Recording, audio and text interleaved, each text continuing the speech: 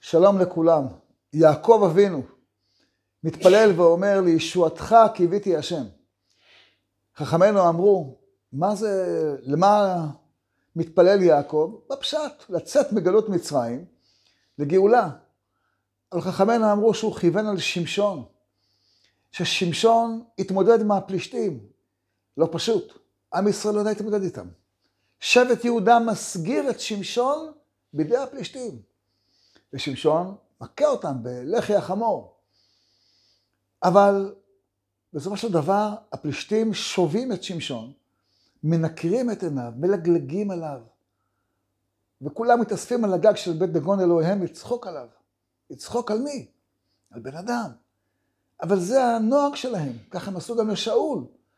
תלו את הגופה שלו, ערפו את הראש שלו, ממש כמו שהם עושים היום. ממש, אנשים שהם, אין להם שום כבוד אצל האלוקים שבאדם. מול החלאה הזאת נלחם דוד המלך. באבן אחת הוא מפרק את הרשעה הזאת. באבן אחת הוא שובר את החזות הבלתי מנוצחת שלהם. כן? הרי גוליית מציג את עצמו למלחמה בעם ישראל, ועם ישראל מפחד להתמודד איתו. ארבעים יום הוא מקלל, מקלל ומגדף, ועם ישראל מפחד להתעסק איתו. עד שבא דוד ומראה שזה כלום. הם לא שווים אבן.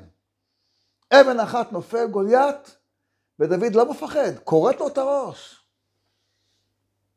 ואחר כך כל עם ישראל מקבל אומץ וגבורה ועוז, ומכניע את הפלישתים.